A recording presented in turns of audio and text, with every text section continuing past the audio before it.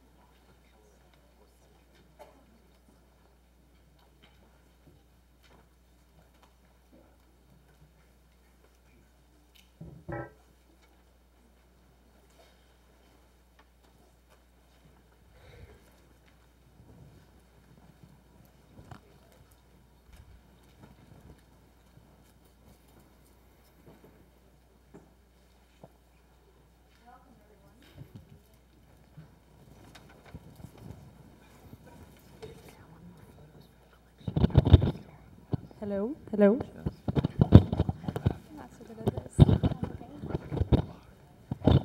Okay, great. Welcome, everyone. It's a true pleasure and an honor to be here, opening this week of Darfur, of Spotlight on Darfur at Harvard University, organized by the Darfur Action Group of Harvard students, with a panel as illustrious as the one I have here.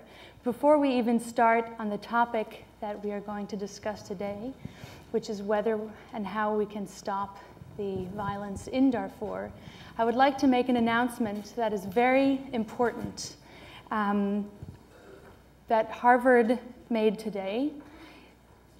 And I'm just going to read from a press release given by Mass Hall. We are announcing today the Harvard Corporation's decision to direct Harvard Management Company to divest itself of stock held by the HMC in PetroChina Company, Company Limited, PetroChina. Although Harvard maintains a strong presumption against the divestment of stock for reasons unrelated to investment purposes, we believe that the case for divestment in this instance is persuasive in view of the confluence of circumstances summarized below under the heading Recommendation to Divest from PetroChina.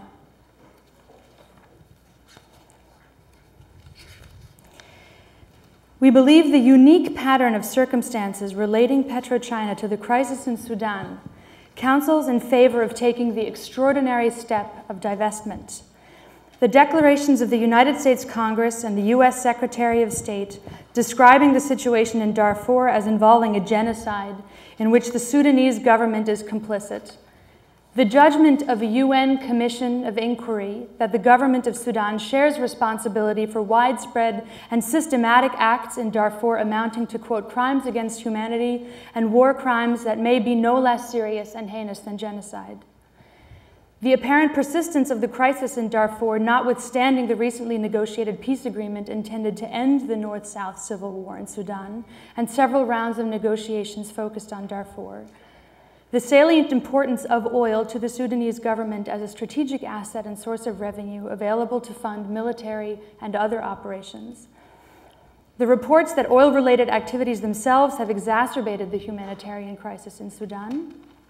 The magnitude and scope of CNPC's, which is the Chinese petroleum company's involvement in Sudanese oil production activities, the importance of its Sudanese activities and its overall range of foreign oil activities, and the CNPC's status as a direct joint venture partner of Sudapet owned by the, owned by the Sudanese government. The express inclusion of the GNPOC joint venture on the list of entities in which persons in the U.S. are prohibited from doing business under U.S. sanctions law the fact that PetroChina's board of directors is dominated by CNPC's senior management, and recent reports that PetroChina itself may soon become the direct owner of international oil assets, including Sudanese assets now owned by CNPC, or that CNPC and PetroChina may form a joint venture through which they would jointly own such assets as a result of a contemplated corporate restructuring. For those of you in the student body who have, for those of you in following the activities of the student bodies, in lobbying for divestment, you will recognize a lot of this language because these were the points that were raised by students in memo after memo to the Harvard Corporation, urging them to divest in stocks that were linked to oil in Sudan, which was a major source of revenue for the Sudanese government in arming um, its militias in the actions in Darfur. So I'd like us all to acknowledge with a round of applause for the students.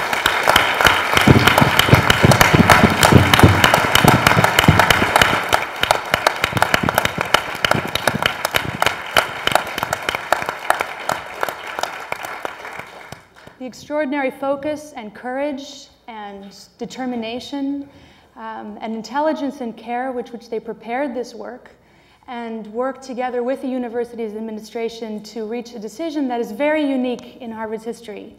Um, previous, previous divestments were made only relate, in relation to South Africa and tobacco. And these are decisions that are not made lightly. Um, and so thanks to the students and a tremendous acknowledgement to the work that they have done. Um, they, this was supposed to be a, a week um, to focus our attention on the problems in Darfur that continue, and a week to raise the awareness of some of the problems that, uh, or some of the some of the actions that might be taken. One of them, of course, was the question of divestment, which is now thankfully checked off that list. Um, but there are many other issues that uh, continue, which the Darfur Action Group is uh, currently involved in. And they pulled this week together of activities that lie in front of us to highlight some of the legal issues, the political issues, some of the, the, the, humanitarian issues in Darfur. And I urge you all to pick up some of the little green slips that are lying around um, that can guide you through this week of activities around Darfur. Before we turn to the topic that we would like to discuss today, I'd just like to have Samantha Power, who's been very involved with the students in, um, in lobbying and working with the administration in making this decision, to add some comments um, to close that topic off.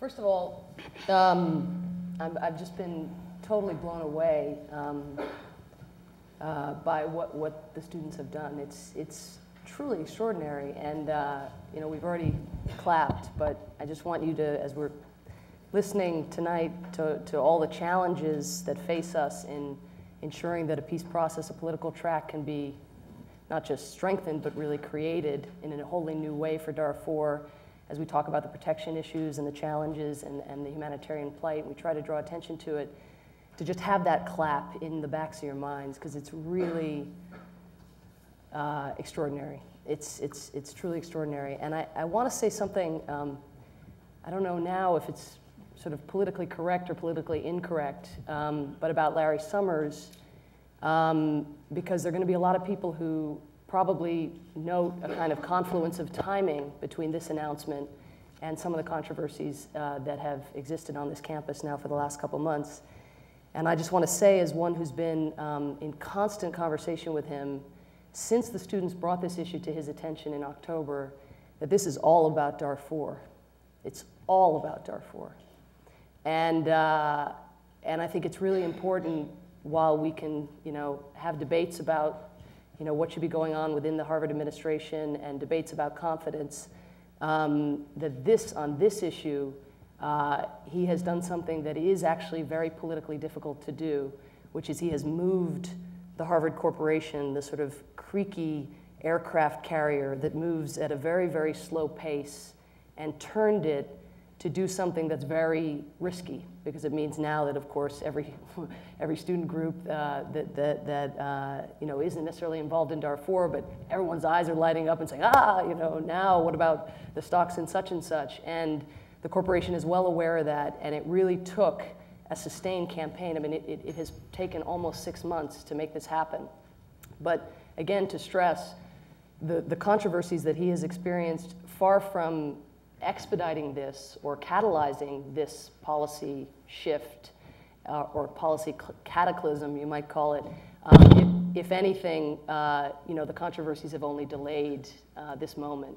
And, uh, and so I just think, in addition to crediting the students, uh, we just do have to take note of the fact that he brought an open mind to an issue that in most administrations, you know, if you come to an administration, you say, you know, open up your stock portfolio and let's let's have a look and see what's inside. Um, you know, the, the only way to guard against the slippery slope of, of you know, uh, campaigns like yours uh, is to close the door altogether. And, and the door was open uh, when we started, perhaps only you could get a toe in, and then gradually as the weeks and months passed and as he became uh, alerted to the kind of you know, reports and reporting that's come out of International Crisis Group, out of the UN, from Alex and from others, uh, he really was uh, very open to it. So it is actually exactly how activism is meant to work.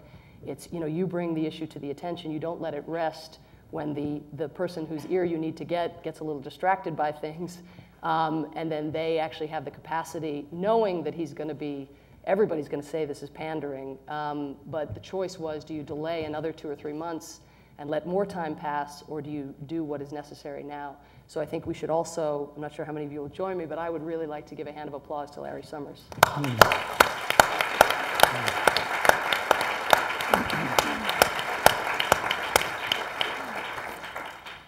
with that encouraging tale of activism in the back of our minds, let's turn to the next agenda ahead, which is to stop the horror in Darfur, which is still going on. We still have work to do.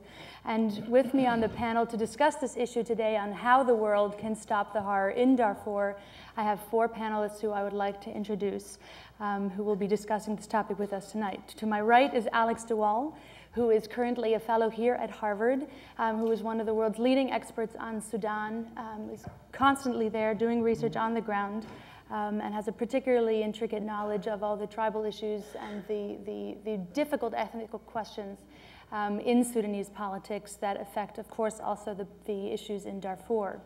Then we have Haile Menkerios, who is um, from Eritrea initially and has had been involved with the Sudanese peace process for over 20 years in various, uh, in various roles. First, as an Eritrean um, independence fighter uh, in Sudan and in the region, um, and then as the Eritrean ambassador to uh, the AU, then to the UN, and is now the UN's, um, heads the UN's department, Africa One department in the UN's political, the Department of Political Affairs and is still very intricately involved with the peace process in Darfur. Um, to his right, we have Samantha Power, who, is, uh, who was the founding executive director of the Carr Center for Human Rights Policy and has um, just recently actually been nominated as a finalist for the National Magazine Award for a piece she wrote on Darfur in The New Yorker, which many of us have read, um, Dying in Darfur. Um, beyond that was a Pulitzer Award winning author for her book um, on a problem from hell, America in the age of genocide, and has been very intricately involved also in the process of lobbying um, on the issue of Darfur. As has the person to her right, John Prendergast, who is a special advisor to the president of the International Crisis Group and has had a, an illustrious career both in the Clinton administration and in various roles as in peace processes and negotiations in Africa in various countries and in various roles um, and has been very involved um, most recently in the, in the issues around Darfur. So welcome to all four, and it's an honor to have all four of you here. I'd like to start off um, with just getting a pulse check from each of you on what you think um, the biggest problem is today in actually stopping the violence in Darfur just a very brief comment from each of you on what you think are the one or two key problems that we face in getting our arms around this problem. Alex. I think that the absolutely pivotal question, and the one that has actually received the least attention of all in the last year, in the last few months, is, is the peace process. Because the nature of the violence in Darfur is such that it can only actually be stopped with the consent of those who are doing it. it um, I don't think it's, it, it's feasible to send in uh, a force to confront um, and fight and prevent those who have been uh, committing atrocities. And in the absence of a truly credible and effective peace process, I, I, I fear we're not going to be making much progress. I would um, agree with Alex that um, the the, the root cause of this war um, is not very well understood, nor has it been really addressed. The consequences of the war, I think, is what, uh, what has attracted international attention.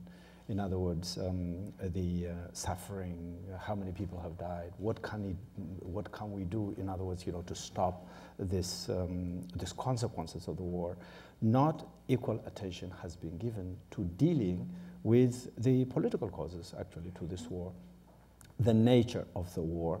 Um, it is seen sometimes only as a war between Darfur as a region and the government as a central government. In other words, you know, the center versus a periphery, a certain region.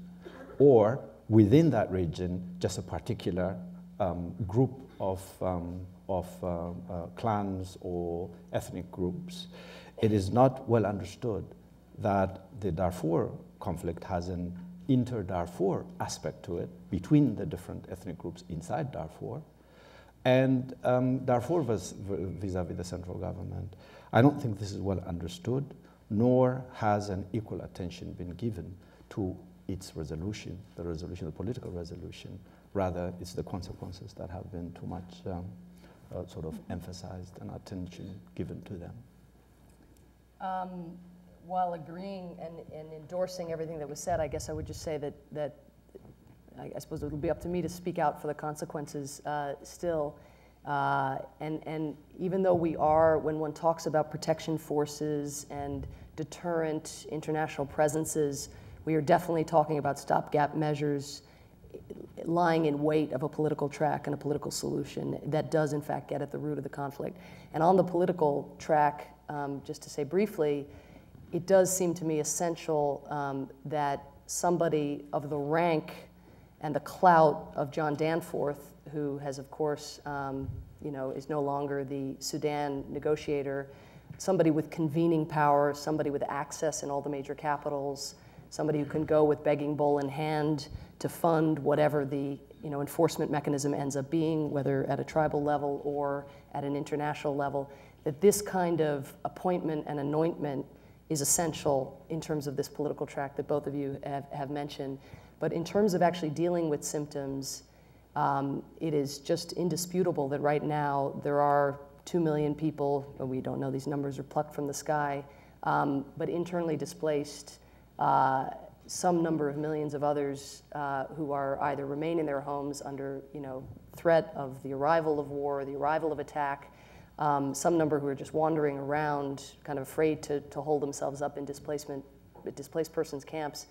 And these sets of people, those not in Chad, but those still within Darfur, many of whom feel, in a sense, trapped within Darfur because they're too far from the border to make the run, how are we actually going to offer those people protection in the interim?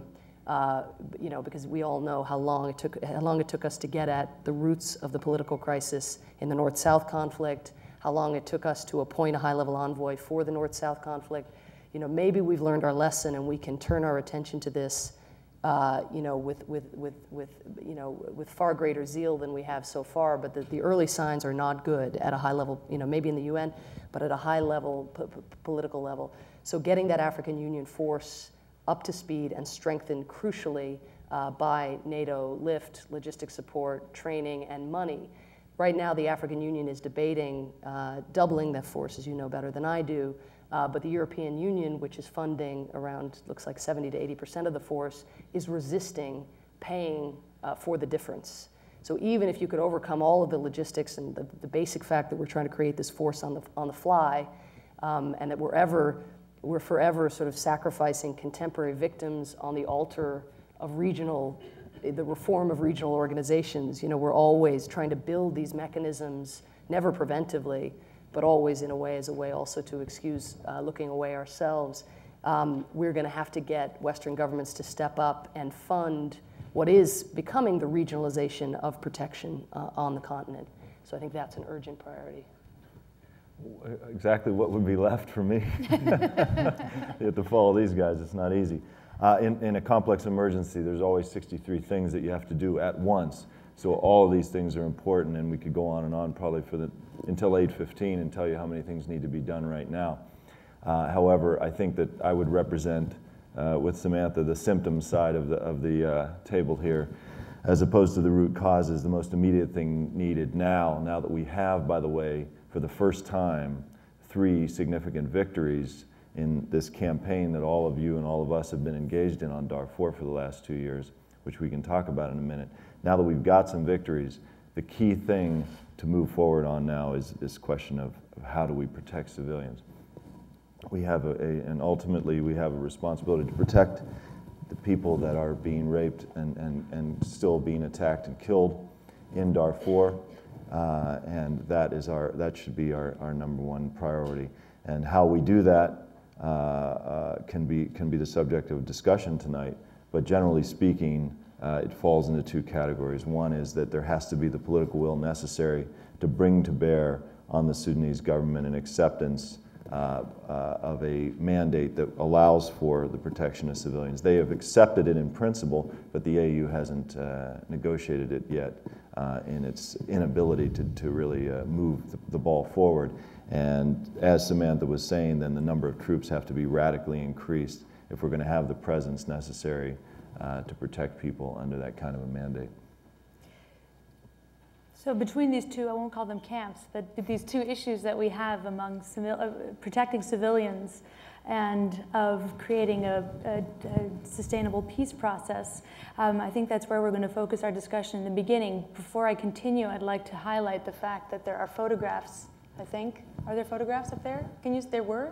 There were photographs up there that I hope you caught um, as you were coming in that were highlighting the problem that John and Samantha were talking about, about the situation currently um, among ID, uh, internally displaced persons and refugees um, from a trip that, the, that Physicians for Human Rights did in Chad and uh, Sudan. Um, so I hope that you had a chance to see those. Um, uh, to, to get a flavor of what the situation actually is like on the ground. Um, let's start off, however, with this question of the peace process, perhaps, um, since it is the one that, is, it, that, that touches on, on the, obviously also touches on the one um, of the situation on the ground. Um, to what extent do you see there being a, an overflow of positive energy from the success of the North-South peace agreement into this situation in Darfur? Do you think diplomacy really has a chance um, in this region of Darfur, or where, and where do you see the, um, the biggest challenges to a diplomatic solution right now? Shall I start on that one? Anyone may step in. I okay. just probably start with you too. Okay. Um, let me let me start by, by stepping back half a step on this because of course the reason why we're having this Darfur week here is because 6th of April is is is the anniversary of the Rwanda genocide. But 6th of April this year has a particular significance in Sudan because it's another anniversary in Sudan. It's 20 years since a popular uprising overthrew the last dictatorship in Sudan. And there was, if you like, a Darfur week in Khartoum 20 years ago, because one of the key things that sparked the popular outrage of citizens in Sudan, ordinary citizens, was the fact that there was a famine in Darfur and the neighboring region Kordofan, which the government was denying and was not providing relief. And the, um, the intifada, the popular uprising, actually started with ordinary Sudanese citizens taking relief, taking food to their compatriots who were camped on the edge of the national capital and being prevented from doing that by the security. And gradually, over a week, um, there were organized non-violent protests led by judges, all in their full regalia. And, and April in Khartoum is hot, so imagine walking down the streets in, in, in, in your judge's robes, culminating in, in the overthrow of that government 20 years ago. And, and I think there are two key points that we must take from that. Um, one of them being the sad point that um, at the time, those of us who were in Sudan, we thought things could never get worse. That was the real nadir, and of course things have since then got worse. The other being that there is a, red line, there is a, a moral, um, a, a, basic moral fabric of Sudanese society which was violated by the then government of Numeri by allowing millions of citizens to go hungry and hundreds of thousands to die during that famine. And I was recently in Khartoum, and it's clear that this government, vis a vis its own citizens and its own core citizens in the north of Sudan, has crossed that red line. And one of the most interesting and encouraging things that I took away from me was the fact that the, the, the, the, the core um, individuals and institutions that make up the very conservative fabric of northern Sudanese society, the rural aristocracy, the tribal chiefs, the sheikhs, the nazirs, most of them ethnic Arabs, are outraged at what, what has been going on. And the most viable and effective peace process that is actually happening in Darfur is not the one that is, that is being um, pushed by the African Union and by the UN, but is one that is actually being headed up by a number of, of tribal chiefs from Darfur, most of them Arabs.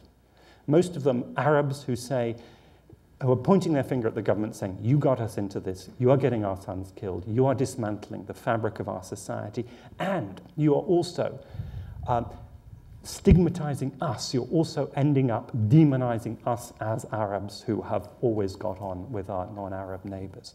And I think there's a tremendous impetus for sorting this out from within Sudanese society. I will pass on to Haile because I, I, could then talk about what's happening at the AU and the UN. But I think that one of the key tasks of the peacemaking process is to link into that energy, which the government, I may say, is doing its best to undermine, to thwart, and to block at every turn. Just as a quick follow-up on that, is there pressure coming from within society as well to actually act upon some of the demands that have been coming from the international community to allow more support for humanitarian aid agencies or to go into the direction that Samantha was talking about, about opening up a little bit the restraints that the Sudanese government has been placing on the role that other agencies can play? Absolutely, yes. Yep. Yep. And, and also a very widespread popular support for the decision to refer uh, the case to the International uh, Criminal Court. Although I have, to, and maybe we'll come back to this. One or two yeah. people have, have have some concerns about that too. Mm-hmm. Um, first, I, I, just want to comment on what we were saying. It's, it is not um, to say, neither one of us is saying that the resolution of the political I mean, um, um issues is not important or addressing the current issue. But you know, ev eventually, why do you want the solution so that there would be peace and stability and, and um, um, saving lives uh, of people? And therefore, it is very important in the interim actually to do everything that is possible to ensure protection, to ensure actually that people during this interim period are saved from suffering and death and the rape that is, that is going on. That is very important as well. What we were trying to say is eventually, how do you stop this? You can always doctor it and doctor it and doctor it and get more support and more aid and more. Um, um, if there are forces that are not ready or willing, you know, to, um, to come to a solution, to a political solution, then even 200,000 troops are not going to be able to, to stop it. Look, you know what happened in Somalia. There wasn't readiness actually to create a state, to come into agreement. And therefore, even crack troops, thousands of crack troops couldn't do anything just against one Mogadishu alone. So what we are saying is equal emphasis must also be given to a political solution. I think the focus, and naturally so, within the public, within civil society, um, what you want to, to emphasize is actually doing something about, about um, uh, stopping the killing, the, the, the security, and um, feeding and supporting people. What we're saying is equal attention has to be given to ending it. Um, uh, as well, and only a political solution can do that. The strategy for the solution, I wouldn't go, uh, since Alex sort of covered, in other words, the, uh, how the whole process um, of um, challenging really the ruling elite that is in Khartoum that has controlled political and economic power in Sudan from the time of independence um, uh, um, uh, started actually as a result of the war in the south. The coming of the Islamist um, government in 1989, um, I think, gave more focus to the south to the struggle of the people in the South who are African, non-Muslim, non-Arab, and therefore um, uh, victims, actually, um, of an Islamist government that wanted to adopt Sharia law as if they're not members of, the, of, um, of um, um, this community, this state. Well, the process of the negotiations in the, in the South, there was hope that if this was to come to a conclusion, it would have a positive impact on the resolution of the political conflicts in other parts of the north, is because every, the south, Darfur, the east, all different peripheral, in other words, communities in Sudan are saying the same thing. We are marginalized from participation in the political and um, economic in other words, power in this country by a small elite that have controlled political power inside. This is the key issue. It might have different manifestations, but this is the key question. So if um, the negotiation between the South and the government, that's the SPLM and the, and the government, was to conclude it would do two things that would be positive to the resolution um, of the conflict in Darfur. Number one, it includes principles, general principles of governance that would um, uh, sort of um, um uh, be the, I mean, the, the, the main principles on which the new government was to be established. And these principles are important for the resolution of all the other conflicts of marginalized peoples, in, in, um, in, in uh, including Darfur, in Sudan, throughout Sudan. For example, the adoption of a federal government where different regions like Darfur would control their own um, internal affairs, uh, including a power sharing arrangement that is common to um, uh, federal governments. So Number one, it includes principles on which the resolution of the problem in Darfur could be resolved or could be based.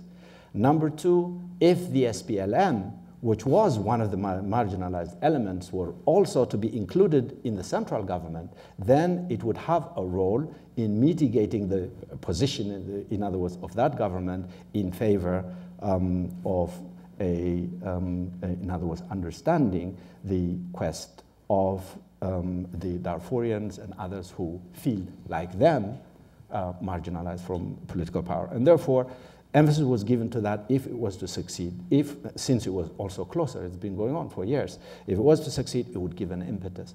But at the end, the key issue is that we should not forget that Darfur and the South Sudan and the east of Sudan, which is now rising up again, will all have to live in one Sudan. And therefore, we have to think of a national framework that will, um, that will um, in other words, include all this. This was the strategy. So a national conference that includes all the stakeholders, including those in Darfur, those in the east, the south, and those who are also the parties in the government, would be the key aim at the end. But you can't leave Darfur to burn in the meantime in the meantime, you would continue actually the Abuja process, which has started by the African Union. There is a multiplicity of actors. In other words, in the South, it was IGAD, there's a South-North process, there is a uh, Darfur versus the central government process going on in Abuja. There is an internal, what um, uh, Alex actually mentioned before, um, inter-clan process in, in, in Libya, and um, a process between the government and political parties, the traditional part, political parties in, uh, in Cairo. All this sounds to someone from outside actually very confusing. What is the interconnection between all of them? It is the government wanting to be at the center, trying to deal with this one and deal with that one and deal with that one. And in, in, in the longer run, actually, it, uh, it, it maintains its, right. uh, its uh, central position. And I, uh, we feel that this is not going to lead really to stable peace in Sudan, that there has to be all the stakeholders inside Sudan should come in a national conference and agree on governance for the future of Sudan. John, do you have some? Just keeps rolling downhill. Just keeps rolling. I, I, would be um, dying to hear your assessment of sort of where you think the sign, whether there are signs of hope there, whether yeah. you think this is all just too muddled for anyone to be able to wade through. I'll put a finer point on what Haile's saying. I think that the common denominator here for this, all these different processes is that, that are being uh, undertaken, that the government itself is part and parcel of, and often engineering, uh, is, is very simple political science 101. It's, it's divide and conquer. It's, it's maintaining power by absolute, by maintaining absolute power by any means necessary. In, in, in the case of the South, and, and the central part of the country, negotiations became a viable tactic to, to maintain power for the time being. They'll come back to the South again, I guarantee you that. This peace deal is not going to be implemented unless there's significantly increased international pressure on the government. Uh, at the same time as they're making peace with the Southerners, they're ramping up military operations against the Darfurians and preparing to do so against the Easterners. So they do what they have to do uh, to maintain power. Now, can you make and implement peace with mass murderers who double as absolute dictators? Uh, it's a good question. Again, political science 101 question. Um, if so, if you are going to succeed at that endeavor, you have to change fairly radically the calculations of those dictators and murderers.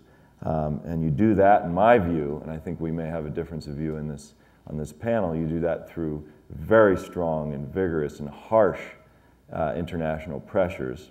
Uh, you bring out the sticks, you, you, you, sharpen them, and you, you find the biggest ones you can, and you go to work on them. Um, and, and we haven't done that. We've been, we've been sampling the carrots and laying them out in a nice deli, saying, wouldn't you like to have these? And, and we see what it's got us.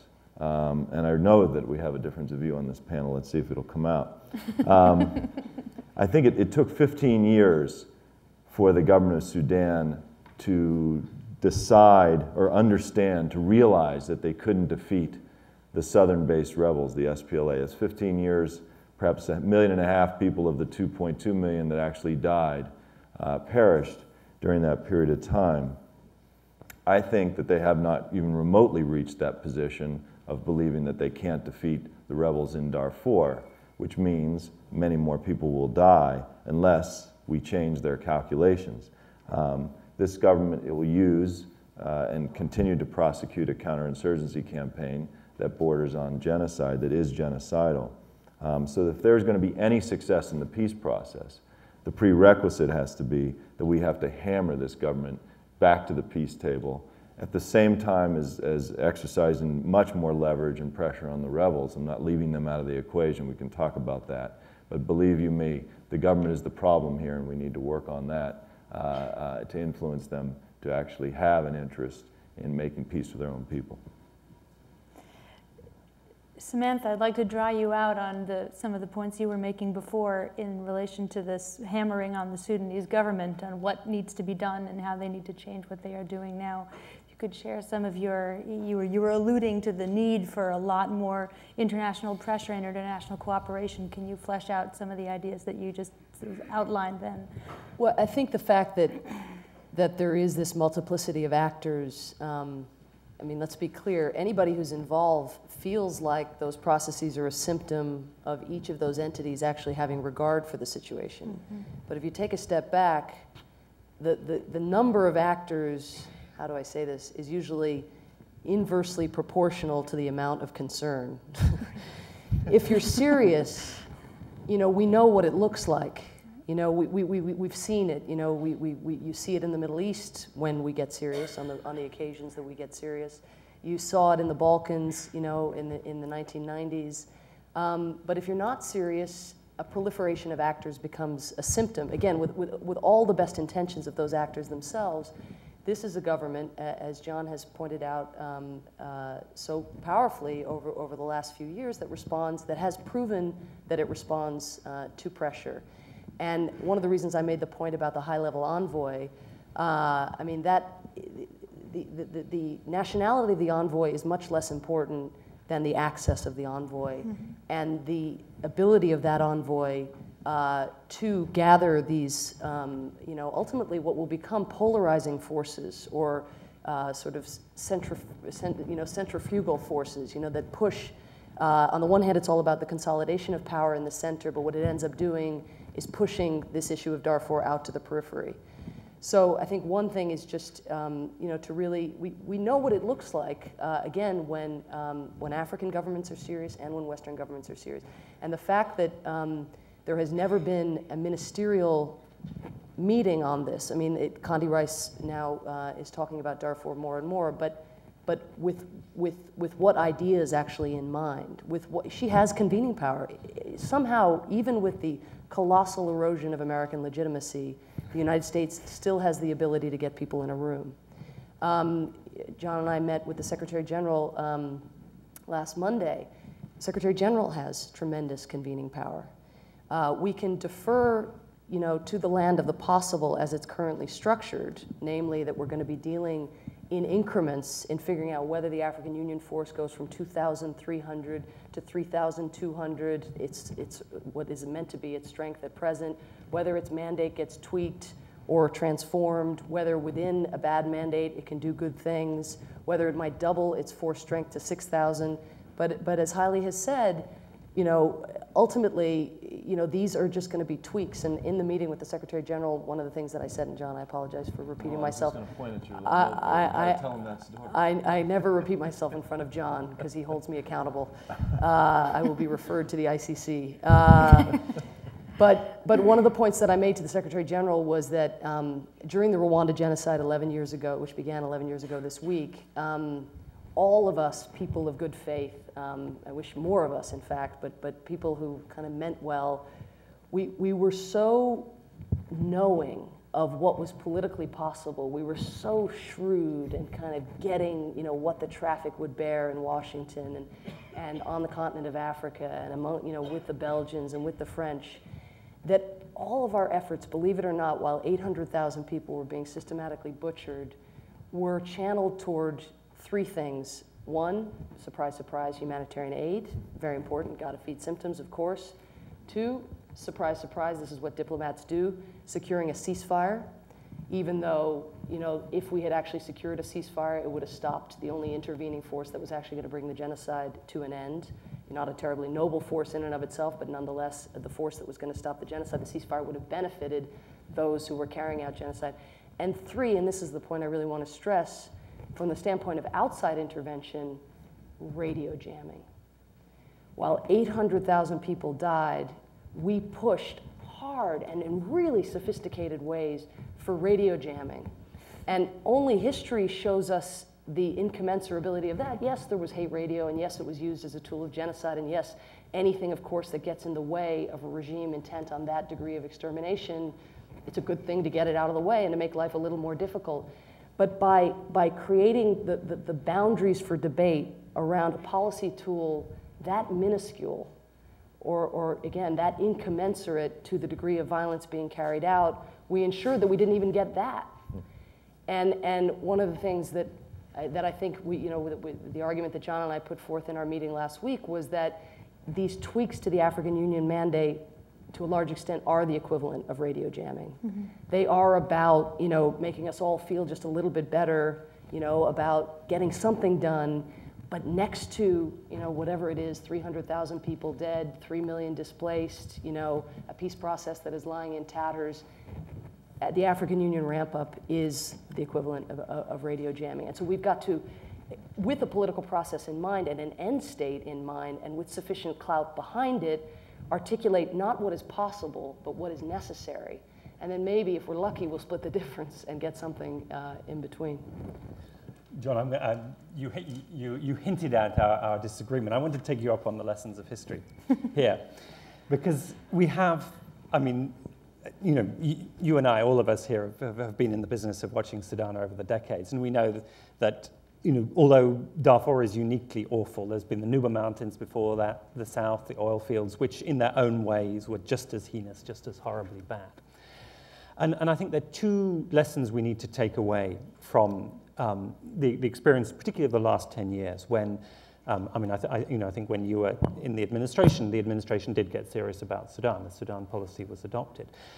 And a couple of things emerged from that. One was that in the late 1990s, the pressure that was put on the Sudan government was an order of magnitude greater than any pressure that can be put today, because the pressure was put by the neighbors. The pressure was put by the Egyptians, the Ethiopians, the Eritreans, and, Uga- and the Ugandans, who had tens of thousands of troops. They had tank brigades in Sudanese territory taking towns. That is a very big, very sharp knife at the throat of Omar al Bashir. We haven't got that now. Sudan has been let out of its regional box. And um, the, the, the measures that we have, with the possible exception of the ICC referral, which is aimed right at the heart of this security cabal in government, are nowhere near as big or as sharp as what we've had before. And it seems to me the, the, the point isn't how hard you clobber this government, but how smartly you clobber this government. And the, key, the other key lesson is that when we got a result out of this government, and the end result, I mean, what has solved the problem in the Nuba Mountains, in the south, in, you know, in, in the oil fields, etc., and it may not be an incomplete, it may be a precarious solution, but it's a solution nonetheless, is a negotiated solution, which came about partly because there was pressure maintained, but more significantly because an endpoint was defined. A, a, a, a winning line was put, and, and, and the message was given to the Sudan government you cross that winning line, you know, you're, you're home and dry, mixing the metaphors. Now, because they, as it were, broke the deal and went after Darfur, of course the winning line has been shifted. Fair enough. You know, these, the, these guys are not the most honorable citizens. They don't tend to keep their word. But it seems to me that the, the, the key element that's missing in this mix is less the pressure, because the pressure is now being ramped up. The key is what is the solution at the end of the day? Because less pressure towards a clearer solution, to me, is a smarter way of exerting pressure than just clobbering, making the bear dance, but not making it clear which direction you want to move it in. I'd much prefer more pressure towards a clear solution rather than less. Um, and I think that the, uh, that the lessons that we're both, or the, the, the evidence that we're both examining, uh, Alex, we, we just simply come away with different uh, conclusions from, which is fine and you're smarter than I am, so I'm worried that I might be wrong. However, we'll continue on since I am on stage here and I've got to defend my position. Uh, but I think, you know, you, you, mentioned very rightly that, that, in fact, what we constructed in the 90s when, during the Clinton administration was, in fact, that inside outside pressure game where we worked very assiduously with the Ethiopians, Ugandans, and Eritreans to apply the military pressure that we couldn't because we didn't have the courage to say publicly this is what our policy will be. And so we then focused on the diplomatic uh, uh, pressure. Now, two thirds of the pressure that existed then uh, still does exist. The Eritreans are still raring to go, want to go across the border, and the Ugandans are inside Sudan, though they have a very different and complex thing. It's the Ethiopians, which is the big daddy of the bloc, that have stepped back for economic considerations and, and regional political considerations away from that alliance and thus destroyed it. Um, and so I think that what we have now, is, as you say, is have to be much smarter. And I think that the pressures that we've disagreed about uh, over the last few years are starting to, uh, to be put into place slowly but surely. And then we're going to have to see who was right uh, uh with potentially catastrophic implications if I was wrong. Because as I said at the beginning, that you know we have three new, brand new victories uh, on Sudan uh, during this last week. We have what you just announced a few minutes ago, the divestment, which I think will importantly set off a chain reaction. How is Iowa State? Or, or, or give me one, uh, Arkansas or any other groups, places where people want to have divestment, going to say, well, if Harvard did it, boom. Uh, so I think we're going to see quite rapidly uh, other universities and other, other institutions move on this because of what Harvard has done and what Harvard has argued. So that's very, very important. That's one victory. Second victory is we got targeted sanctions against the regime. Third victory is we have an ICC referral, which we'll talk about later. In other words, we have started to put in place the edifice of real smart pressure, pressure that's targeted that says, you have committed crimes against humanity, you're going to pay a price now. Now, how are we going to handle the diplomatic part of the equation so that we use that pressure to get what you're talking about that we got in the Nuba Mountains in the south, which is a finally a comprehensive deal for the entire country. And that I think we agree on, is that if the, if the pressures are smart, you follow it up with good diplomacy. We're not following up with good diplomacy right now, which we ought to talk about too. But at the end of the day, we probably meet on the other side of the moon and, uh, and agree on a lot of things. With four open questions that I still uh, would like to draw out of this, with the ICC uh, referral as one of them, and the what is smart diplomacy and how do we protect the civilians, I'm still going to have to give up my role as the moderator and hand over to you so that you can ask questions because time is ruthlessly ticking. Um, much faster than I would like it to. Um, so I'm encouraging you to keep a lookout for the four microphones that are here in the, in the forum. Um, and if you have a question, please make it short and ending in a question mark and avoid the opportunity to make a statement of your own. Um, also, please introduce yourselves because it is interesting to know who is engaging in conversation with the panelists. So please, introduction, question mark, brief, and then the panelists will be happy to answer. Please specify also to whom your question is directed. Hi, my name is Barbara I'm from the School of Public Health. Um, this is sort of generally directed. I was just wondering what efforts have been made to engage the Islamic world in what is essentially a Muslim on Muslim conflict.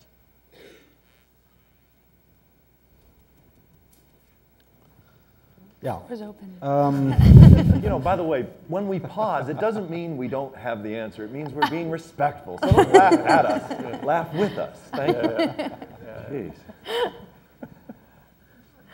Uh, let me say that yes, um, um, um, Islam on Islam, but uh, I think we should we should understand this is not just an Islam issue.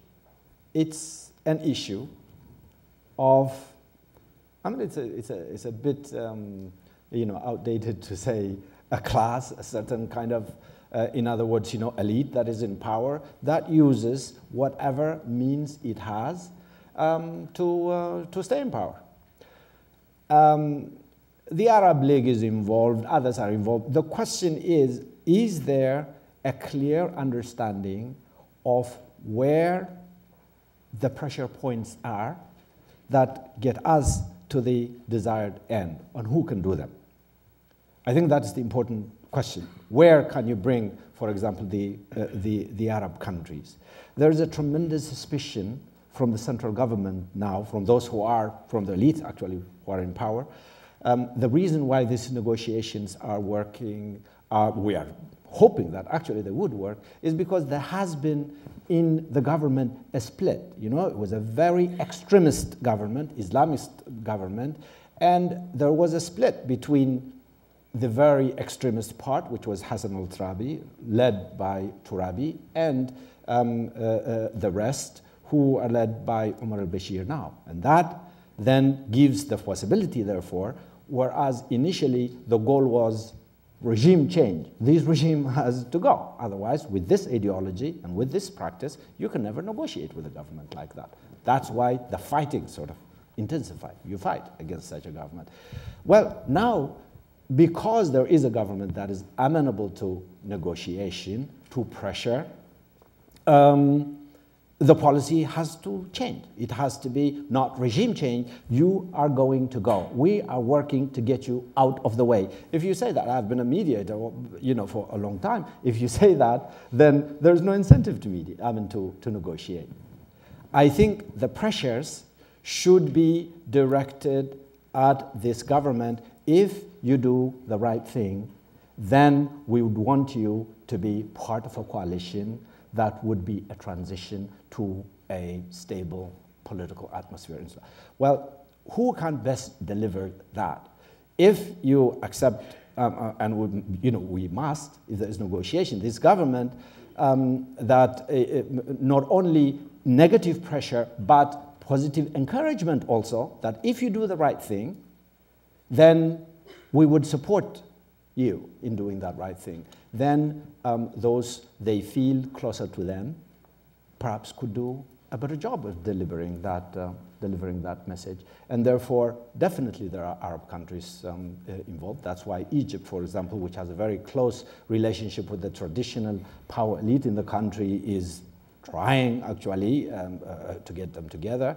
Um, that's why appeals have gone from the Secretary General for the Arab countries to provide troops, for example, um, in uh, uh, um, uh, monitoring troops in, uh, in the south, um, has been asking also Arab countries even to support humanitarian, um, in other words, to, to, provide humanitarian support. So um, it, it is a question of where exactly what is the intended result you want and where do you have the pressure point on who can do it best. I think one thing we are lacking is the concentration is on the government. Of course, agreed, the government is the key actor here. It is the, you know, the, the, the cause of all this, but not enough pressure sometimes is put on the rebels as well. The rebels are very divided.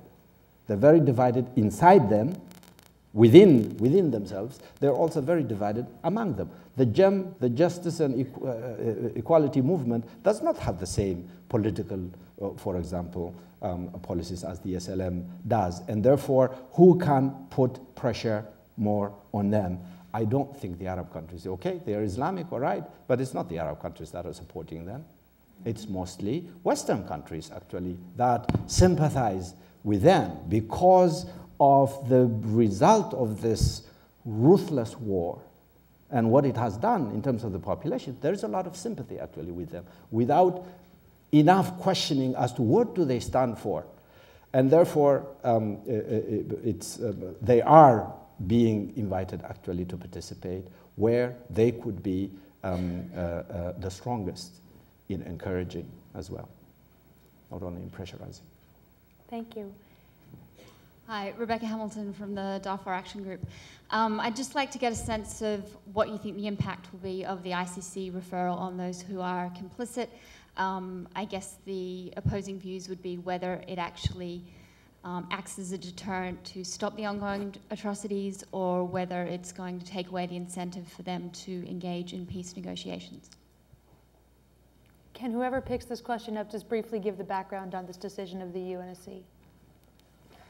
Um, I'm actually, I'm going to give a, a, a, short response um, to the question, then I'm going to ask John actually to answer the specifics of, of, the question about the political effect on the ground because he's talked so much about accountability over the months.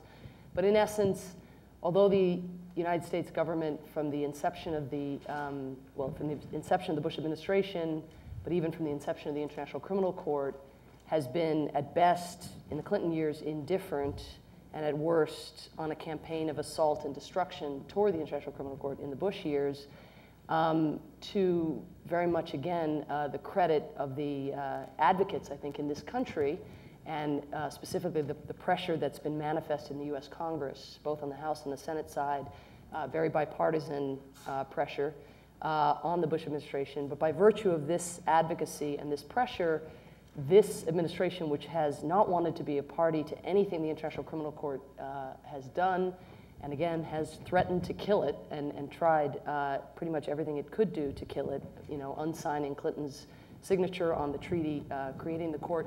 Um, but on Thursday last week, uh, the US government decided to abstain from a UN Security Council vote in which Darfur, for, the, in, for the first time in the ICC's history, the Security Council uh, referred a case of criminality to the International Criminal Court. Uh, the prior two referrals have come from governments, from Congo and from Uganda. They've said, come help, we have rebels who annoy us. You, would you mind prosecuting them on our behalf? This is a very, very different model and a much more uh, ambitious, much more threatening model to the state order because it is the Security Council uh, in a sense, saying that the Sudanese government has not uh, prosecuted the people within its midst, that these crimes are of sufficient magnitude to warrant uh, a referral to this, the court that is only going to hear the worst cases. So for the US government to abstain with China and Algeria from that vote, again, was an enormous uh, achievement. I'm going to let John talk in a second about what the effect on the ground uh, will be. But just um, to raise two uh, issues now in relationship to the US role, because we can all sort of sigh and backslap and say, wow, you know, again, advocacy pays, and who knew that they could be convinced to, to put, you know, crimes against humanity uh, uh, ahead of their hostility to the ICC. Uh, they did for a day. But the ICC doesn't have a police force. It doesn't have an army. It is incredibly dependent on the intelligence supplied by UN human rights observers who are scattered in very small numbers uh, throughout Darfur, incredibly dependent on journalists who are increasingly unable to get access. We're, we're unable to get visas to get into Darfur. It's a huge problem. You can see the precipitous decline in press coverage from the ground in Darfur. And an African Union that is present very much you know, at, the, in, at the consent of this uh, Sudanese government. So how is evidence actually going to be amassed so that these investigations go forward? You know, it's much, much easier to get enough for a preliminary, to, to launch an investigation or for even for a preliminary indictment than to build a meaningful case. So the real question is, will the United States be a part of this effort uh, in funding these institutions to actually support the International Criminal Court? Or if, if the United States isn't, as with the referral, will European governments and other countries in the region and elsewhere themselves uh, supply uh, the pressure to make that happen? And then the second, I said I would be brief, and I'm never brief. Uh, the, the ICC, yeah, no, the, the ICC uh, is only going to deal with a handful. I mean, we'd be lucky if we saw a half dozen uh, indictments coming out of the ICC. The prosecutor at the ICC has made it very plain that his criteria is gravity uh, gravity of crime, gravity, most crucially, of responsibility. So you are not going to see this list of 51 that has been passed to him uh, when the envelope is handed, it's tomorrow that, that Kofi Annan is going to hand him the envelope of the referral from the Security Council to the Secretary General on to the prosecutor. In that envelope are 51 names. Again, he doesn't have the resources. It's a new court, doesn't have the budget or the will to do anything more than a, a very select few. So, what is Sudan going to do? How is this going to create a, a, footstep effect so that that country or some other mechanism, and maybe some kind of African, you know, residual uh, judicial process, takes hold so that it isn't just, you know, the higher powers, but also uh, the people, you know, at a mid-level who've been involved in the killing. But on the on the on the perversity effect, whether it'll have a perverse effect on the ground. Thank you for my assignment, Professor. I think uh, we go back to the to the smart power uh, issue, smart pressure issue. Sorry, power, I'm pressure, smart power. Getting involved. So I go to sleep at night. There's power. It's just lecturing me. Um, let's see. If the ICC uh, investigations uh, are well played, um, as they have begun to be played in northern Uganda, I think they can have a very positive impact on a peace process uh, for Darfur. Um, it'll depend on how the process is constructed by the internationals, by the African Union and their, and their international supporters. Because, currently, and Alex and Haile will definitely want to talk about this some more, the peace process is a complete joke in Darfur. If anyone, what, if anyone can name the lead mediator of the peace process in one of the biggest wars in, in, in the world right now, in this room, I got 150 bucks in my pocket, is yours. One name you wouldn't know, because who knows? It's, a, it's absolutely a case of the AU dropping the ball in a, in a disastrous way, and the international community, the wider international community, not picking the ball up in any significant way and trying to move it forward. So we have to build a process that has a, a lead mediator that is recognizable, which has envoy support from the United Nations, from the United States, from the British and the Norwegians and other countries that matter, and the Egyptians and others that will have an influence over, over what happens. And I think that the benefits uh, for the peace process will unfold as a result of the increased pressure that comes from the ICC. I'm thinking I'll take the next question from the gentleman up on the balcony. Um, my name is Isaias Choice. I'm a freshman at the college. Um, I have two questions. The first one is. Um, Can you um, speak more slowly? It, oh, it yes. Um, you have all mentioned one dimension of the conflict, that of between the center and the periphery. Uh, I was just wondering um, what, um, if at all, is the opposition or the political conflict, what political conflict exists within Khartoum, within the center? And the second question um, is, um, you've all referred to you know, ways of uh, clobbering the regime into getting it to cede things, and I was just wondering about the flip side of it, which would be how to provide incentives for moderation and for the moderates within the ruling coalition to come to power. Okay, Thank you. Alex. Um, but before, before I, before I let anyone advantage. jump on that, that you got your cue. Um, but there, I'm just going to take a couple more, given that we have seven minutes left. This, I, I think my watch is going too fast. Is it really 10 past 8? Um, but for, just a couple of questions, and then we'll call them together so that the panelists can respond to them. One from up there on the balcony, and then one down here, and then we'll, we'll take this one here, and then we'll try and draw themes between them. All right. Um, my name is Alex Demore. I'm a freshman at the college as well. Uh, my question regards not necessarily just the conflict inside the Sudan, but also sort of divides that might exist inside the international community. For example, it seems that China is getting involved in a lot of different areas in Africa to sort of support the status quo government because of economic considerations that they have rather than uh, necessarily supporting progressive human rights, uh, hu human rights causes. And so I was wondering what sorts of policy instruments could be used uh, by the United States and other countries that are sort of pushing for these human rights causes in the context of, uh, well, I, I guess in this particular instance, China that is being very supportive of governments for you know its own economic considerations. Thank you. Uh, my name is Helen Fein. I'm affiliated with the Belfer Center and the Institute for the Study of Genocide. My question to any of the panelists is what role has anyone in the international community or NGO community, or what responsibility have they suggested for restitution and compensation to the victims of genocide and war crimes in Sudan? Thank you.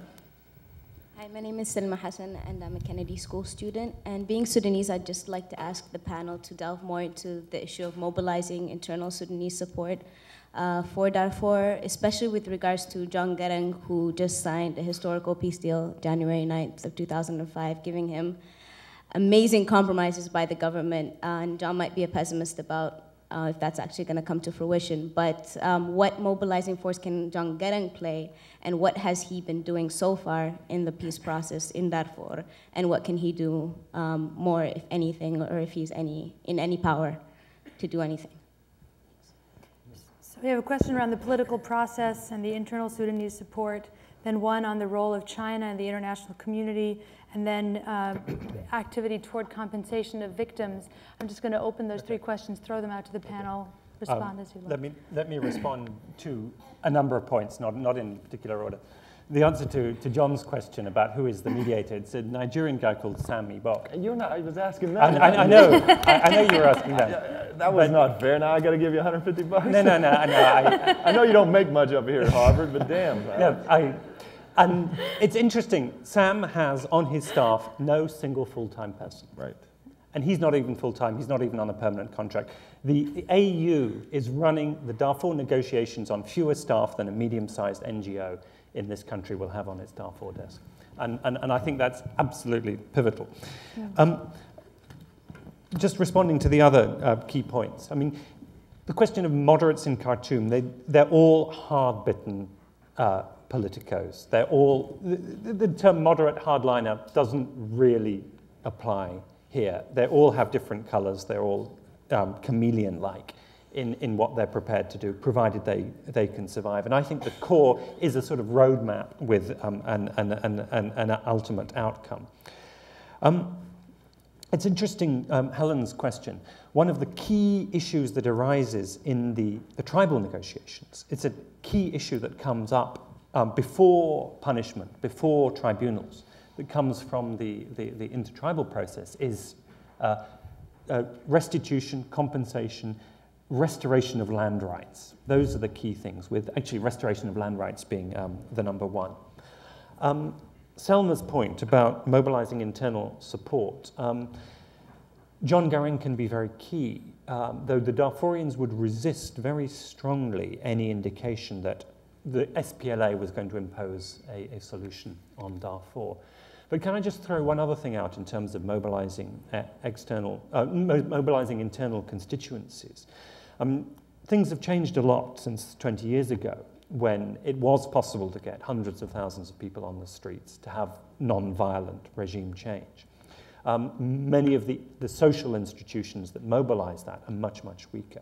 But some things are much, much stronger. Communications are much stronger. Um, cell phones, the internet has made a tremendous difference. And I mean, it, it's fascinating to see that even now, you know, more than 50% of the undergraduates at Khartoum University are women. And there is a tremendous capacity there among students in that university, that university which is a shadow of its former, former self, but still tremendously hungry for engagement um, with the rest of the world, with the issues of the day, with, with, with intellectual life. Tremendous opportunities for linking up and, and, and mobilizing those people. Thank you. Take some of the questions.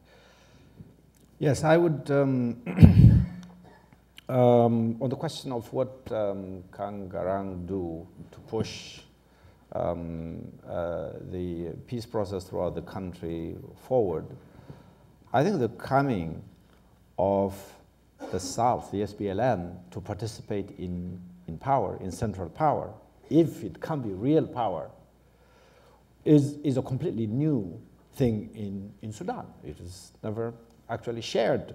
Uh, a southern uh, sort of um, um, southern participating participation in central in central government has never happened in a real way. And if it can be in a real way, it's not just what Garang himself can do; it's what it does to the nature of that control of a of a small elite. Actually, that's happened before. Unfortunately, it, it isn't very simple. you do have to understand that the South itself is not a united uh, entity itself. There are problems in the South uh, um, itself. There has been fighting in the, between Southerners as well. I think Garang will have a preoccupation to form his government inside the South. Uh, itself, forming, I mean, transforming a liberation movement into uh, all the instruments of fighting into instruments of governance, it's going to take quite some time and quite, um, and therefore we should not expect too much out of the South just coming and now all of a sudden the nature of the government is going to change. I don't think um, uh, it can be overemphasized. The other problem I want to talk about, about this disunity in the international community, the way it has approached it. I think this is one of the key reasons. We said not enough attention. Everybody understands the horrors that are, that are happening, actually, in terms of the humanitarian situation, in terms of um, um, um, what is happening in, in, in human rights situation, for example. Well, come to the resolution. How do we deal with them? There is division in that well, interests are not the same. Views are not the same. I think a mediation the African Union has done really a very good job, both in terms of the mediation and in terms of um, uh, protecting civilians, even uh, um, uh, to, the, to the degree that its capacity allows it. The question is there hasn't been unified support in one direction, unified pressure in one direction, full support to the mediation the African Union is trying to do. I, I, was involved in the mediation in Congo. It could never work because different actors had different positions. When you know all these attempts failed, and all of them then focused in support of the mediation that was carried out by the UN and, um, and South Africa, it worked. I think that kind of unity is going to be required, and that kind of backing is going to be required if we are to get at a political solution in Darfur. Also, that will stop the war.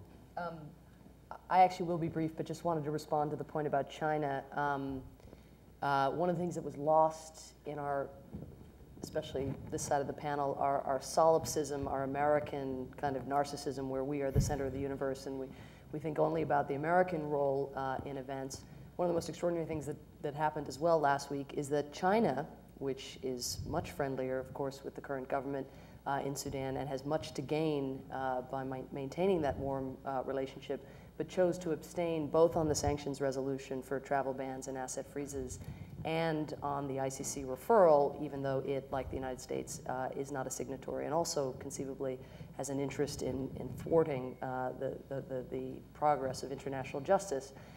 Um, I think that in about 10 years' time, we will look back on the day when China resisted using its veto power uh, with great nostalgia.